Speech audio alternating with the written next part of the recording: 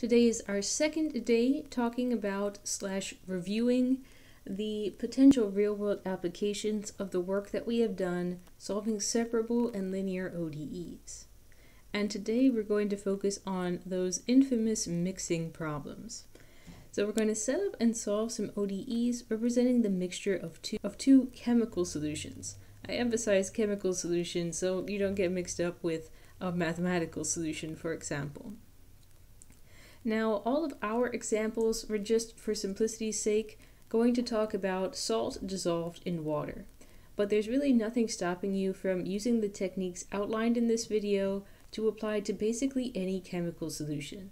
The only situation where you might run into some problems is if when your solutions are mixed, there's some kind of chemical reaction that affects the outcome.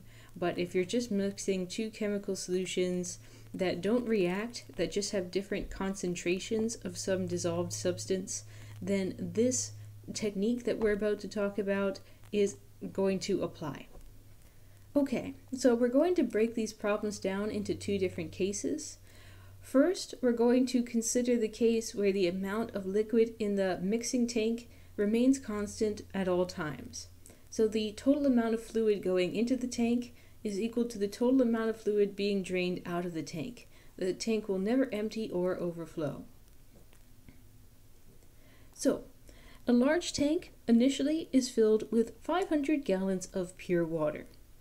Now last time I very foolishly used the letter S to represent the amount of salt in the tank, uh, which was which was foolishness because S is used for seconds. So let's just go ahead with A and use A to represent the amount of salt in the tank. Now because the tank is initially filled with 500 gallons of pure water, the initial amount of salt in the tank is definitely zero. No salt in that water at all. But things change over time. Over time, brine is being poured into the tank containing 2 pounds of salt per gallon and the fluid is being pumped into the tank at a rate of 5 gallons per minute. Then the well mixed solution between the brine and the pure water is being pumped out at an equal rate of 5 gallons per minute. Now these problems, seriously, I seriously recommend always, always starting with a diagram.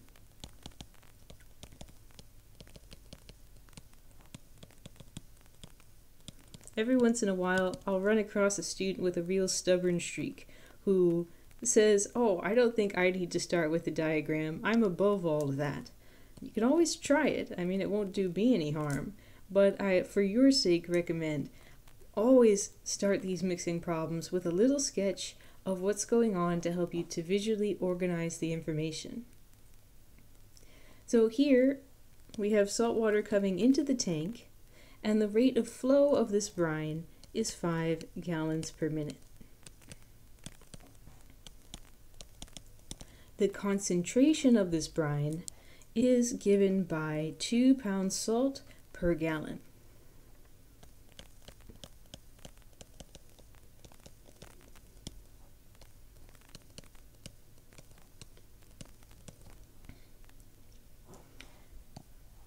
Meanwhile, the mixture is being drained out of the tank at an equal rate of 5 gallons per minute. But the concentration of this mixture is currently unknown.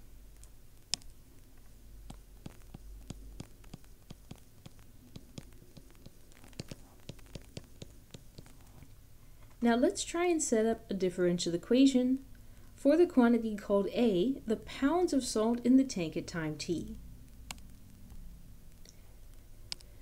So differential equation, let's start with A prime. Let's think about how the amount of salt in the tank would change over time. And there are two ways for the salt in the tank to change. It can change as a result of salt coming in, and it can change as a result of salt going out. So the question is how much salt is coming into the tank and how much salt is leaving the tank? Now if you want to know the amount of salt that's coming in, we can look at the fluid that's flowing into the tank. And we can take the rate of the fluid flow 5 gallons per minute and multiply it by the concentration of salt in that fluid.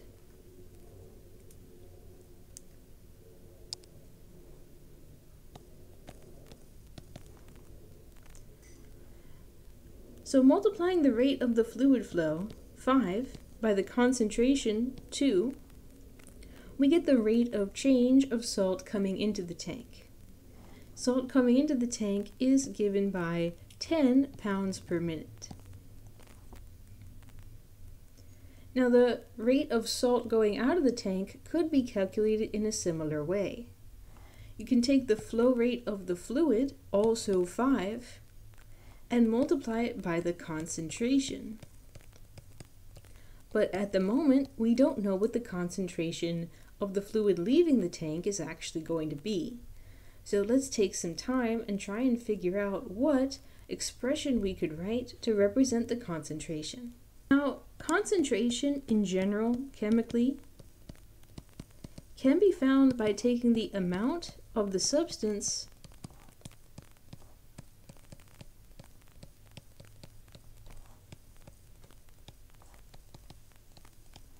and dividing it by the amount of liquid in which we have dissolved that substance. Now, fortunately for us, we have called the amount of salt in the tank the quantity called A.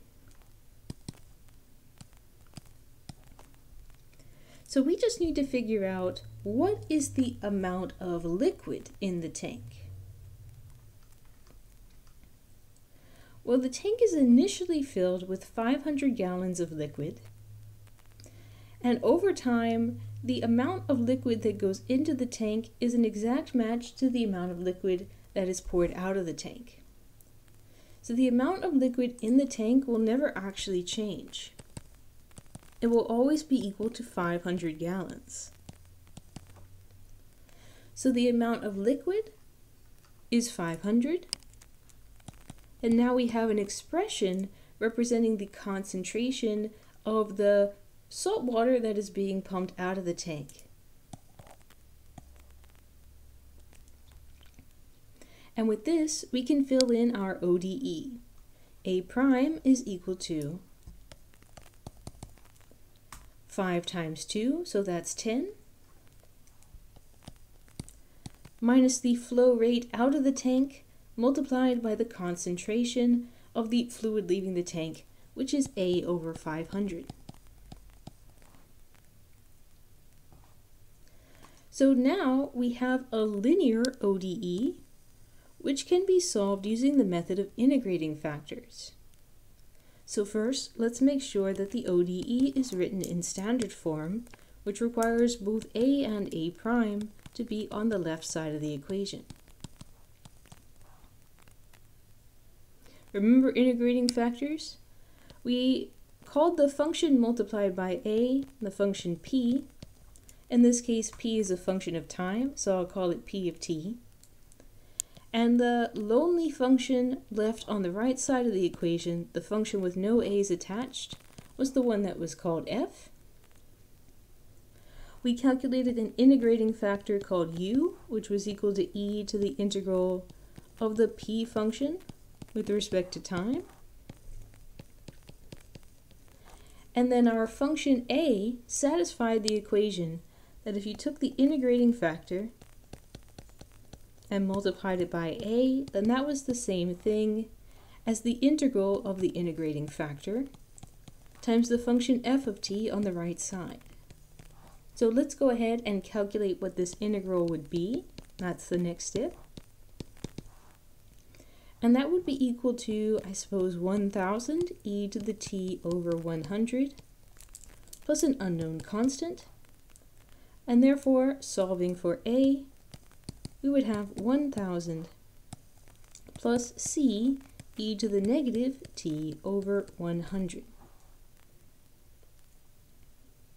To determine the value of c, and then to finish the problem by finding a, let's go ahead and use the fact that at time t equals 0,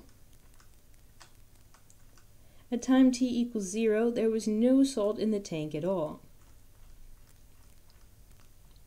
So if I replace both t and a with 0,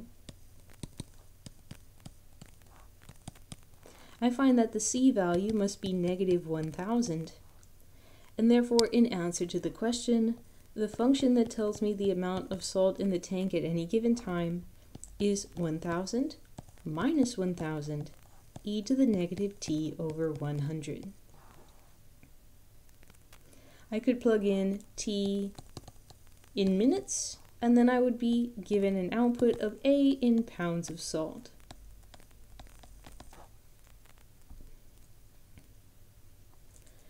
Alright, let's consider a similar example, except this time the problem is complicated because two solutions are being pumped into the same tank. So, as always, I'm going to suppress my pride and I'm going to draw a diagram. We have brine still pumped in at a rate of 5 gallons per minute, just like last time, with a concentration, just like last time, of 2 pounds of salt per gallon. But at the same time, Brine is also being pumped into the tank from another pipe, this time at a rate of 1 gallon per minute.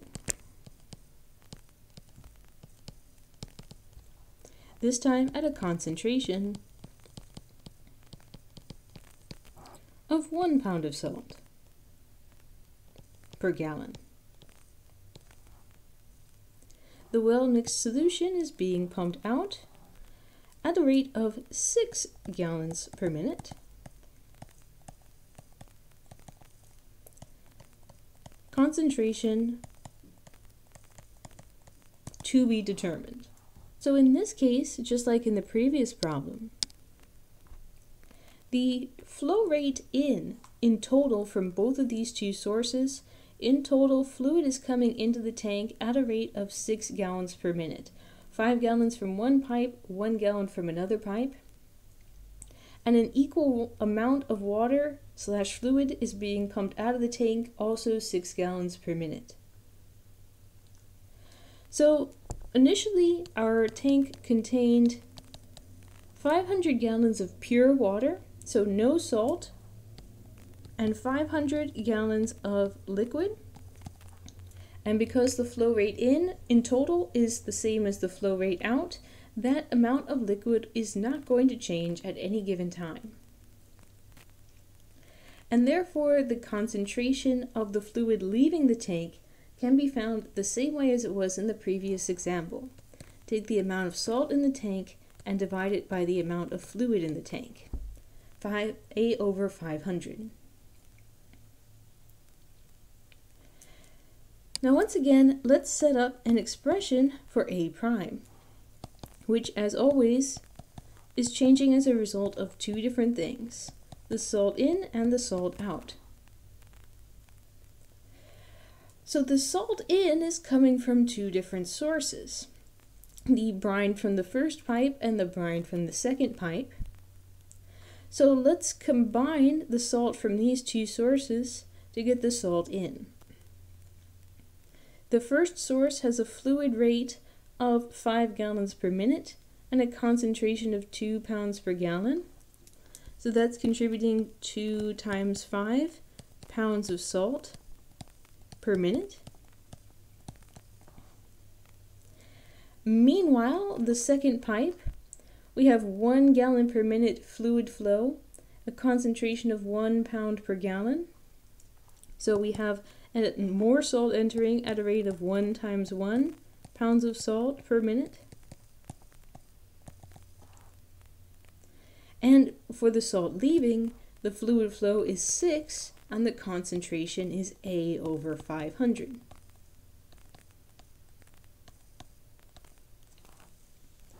So if I clean that up, what is my expression for A prime? My expression for A prime is equal to 11 minus, I guess we can call this 3 over 250a. After the setup, the actual solving process is a lot like it was before. Replace, rearrange everything so it's in standard form. Find your integrating factor.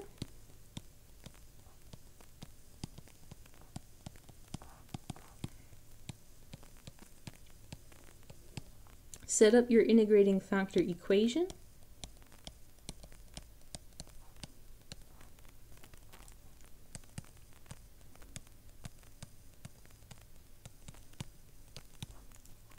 Calculate the integral.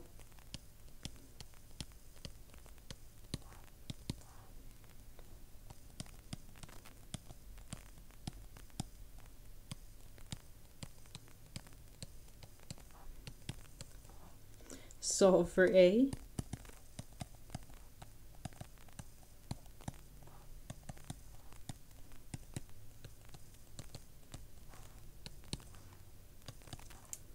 And then use the initial condition to find C.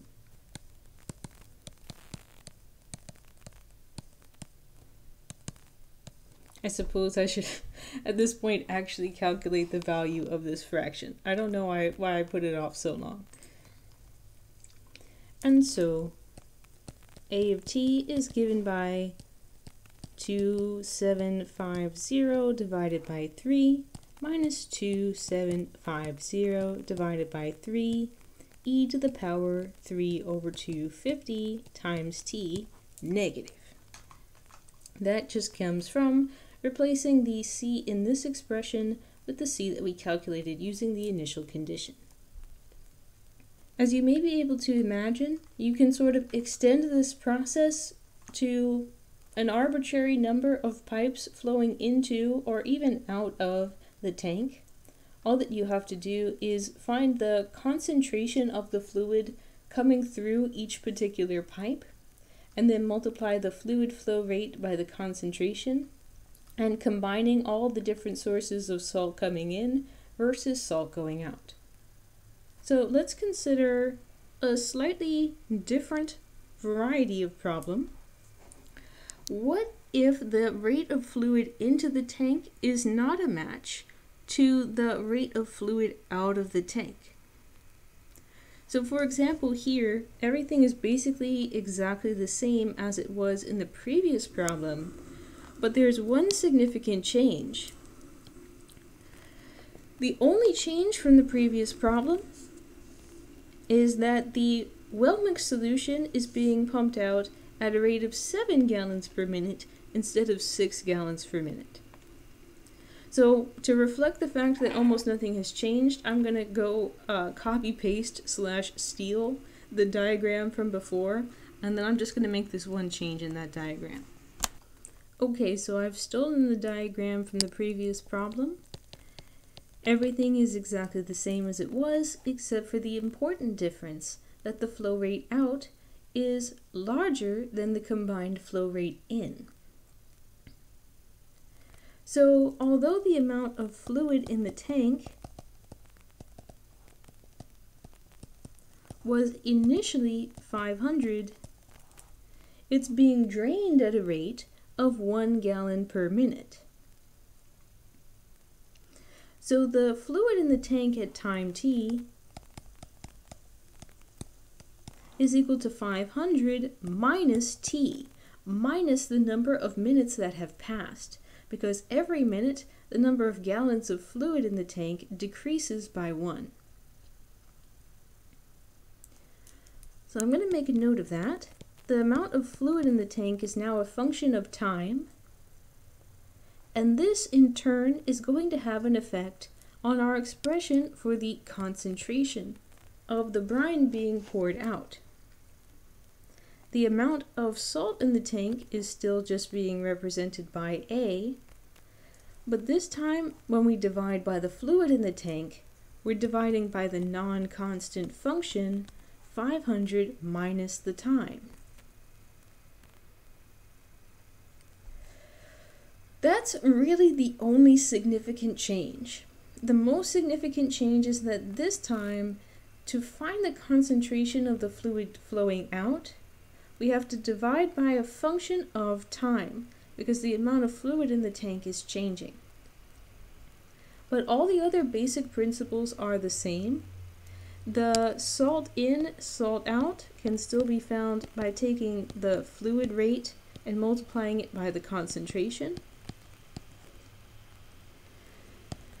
So salt in has not changed at all. It's still 11 pounds per minute. And then for the salt out, the fluid flow rate is 7, and we're multiplying that by A divided by 500 minus T. So let's rearrange this and let's try and solve it carefully. So now we have A prime plus 7 divided by 500 minus T times A is equal to 11. So this time, to find our integrating factor, we're going to have to take e to the integral of 7 divided by 500 minus t. So this is equal to e to the power 7 natural log 500 minus t with a minus sign as a result of chain rule. So this can be simplified to 500 minus t to the power negative 7. So using that integrating factor, our solution A satisfies 500 minus t to the power negative 7 times A is equal to the integral of the function on the far right, which was 11, times 500 minus t to the power negative 7. To evaluate that integral, we're going to need to use power slash chain rule.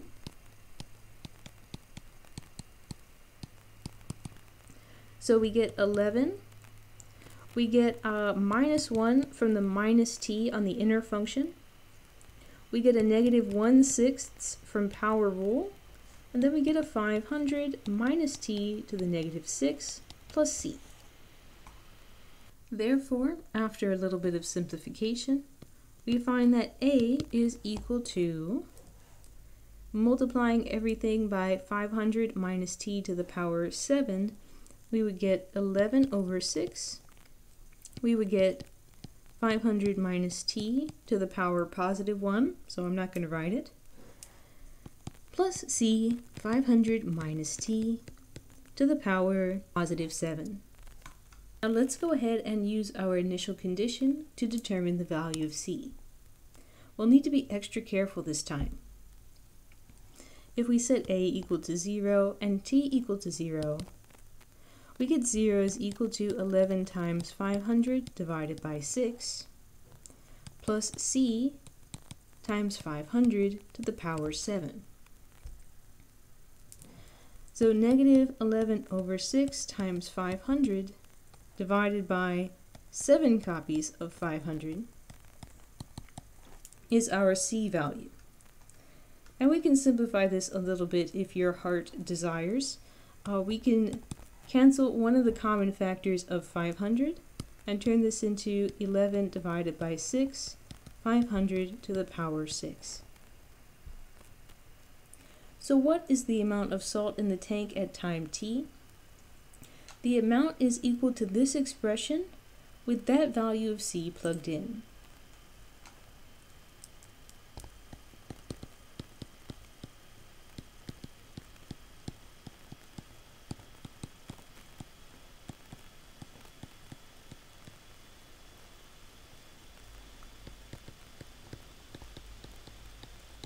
Now, I almost forgot one final part of this question. Uh, in addition to finding a formula for A of t, we were asked what is the domain of A of t? Now, this might seem like a strange question because scrolling down to the formula that we found, we obtained an A which was actually a polynomial. Uh, all of the t's are contained inside quantities with positive exponents. So at a glance it might seem like the domain is going to be all real numbers. But when someone is talking about a domain in a real world situation, they're not just talking about mathematical domain. They're talking about for which values of t does this formula make sense for use in this problem. Thinking about the domain, thinking about the values of t for which this formula is valid, I should think about the values of t for which my original differential equation was valid. Before time t equals zero, I think it's implied that no salt water had been poured into the tank at all. So before time t equals zero, the salt in part of my differential equation is not valid, and therefore the domain does not extend to include negative times. In addition to that, when T exceeds 500, there's no fluid left in the tank. So if T gets larger than 500, then the tank has emptied, and once again, the differential equation that I set up doesn't make sense. In particular, if T is equal to 500, I find myself dividing by zero. So the domain, the times for which this differential equation actually is sensible, is between an initial time of t equals 0 and a final time not exceeding 500 minutes. Once you hit 500 minutes, then the tank is empty and it messes with the entire calculation that we did to obtain this function a of t. So that concludes today's material. If you're mixing two non-reactive chemical solutions, then set up a diagram to, to show you the flow rate of the fluids coming into the tank with their respective concentrations, uh, as well as the flow rate of the fluid coming out of the tank and its concentration. Uh, be on the lookout to see if the amount of fluid in the tank is changing over time. Uh, if it is changing, it's going to affect your concentration of fluid coming out of the tank and it will change it to something that's non-constant which generally speaking has a slightly more complicated solution.